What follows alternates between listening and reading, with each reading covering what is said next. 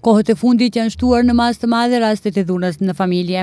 Vetëm gjatë vitit 2020 ka pasur mbi 100 paraqitje të rasteve të tilla, ndërsa policia gjatë ditës së sotme ka raportuar se kanë kapur 21-vjeçarin nga Tetova i cili ka abuzuar me prindërit e tij. Mbrëm rreth orës 23.15 minuta, pjesëtarët e policisë nga sektori për punë të brendshme në Tetovë, kanë arrestuar 21-vjeçarin D.A., banor i Tetovës, i cili ndaj tyre ka treguar sjellje agresive dhe ka refuzuar që të identifikohet pasi ka qenë raportuar më parë se po abuzonte psikikisht dhe fizikisht me prindërit e tij.